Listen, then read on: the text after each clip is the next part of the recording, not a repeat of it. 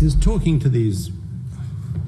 Everybody seems young to me now, but to, to these to these young guys uh, and women who uh, who led the um, democracy demonstrations in 2014, and some of you will have met them as well. And I had I had um, a, a Chinese official say to me, and a couple of businessmen, you know, they're such a they're so radical, they're so difficult. I said you should meet some of the students at Oxford. Um, it's absurd. They're extraordinarily moderate, and without without being um, uh, uh, used as puppets by us, they've actually come to realize themselves the relationship between economic and political freedom.